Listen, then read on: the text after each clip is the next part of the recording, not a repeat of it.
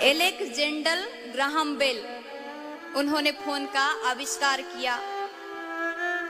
1876 में 10 मार्च को ये फ़ोन शुरुआत हुआ, आविष्कार किया।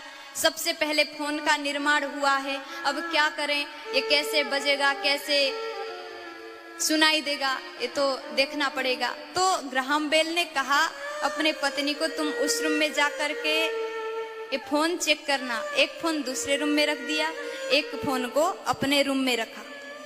फिर उसे चार्ज में लगाया। फिर फ़ोन लगाया तो उधर घंटी बजा।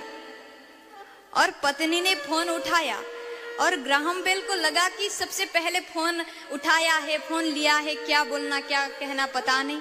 अब कुछ आता न जाता। चुनाव चिन्ह छाता।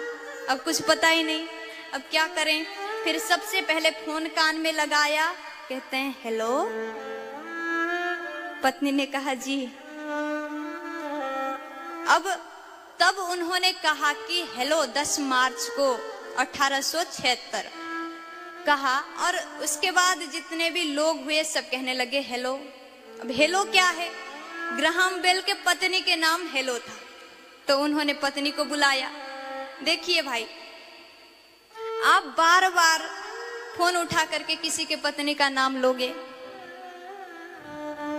यह सही बात है क्या? अब कोई फ़ोन उठा करके आपकी पत्नी का नाम बार बार ले। अरे सरिता, फ़ोन उठाए, सरिता, गीता, सीता कहने लगे तो अच्छा लगेगा? अब कथा तो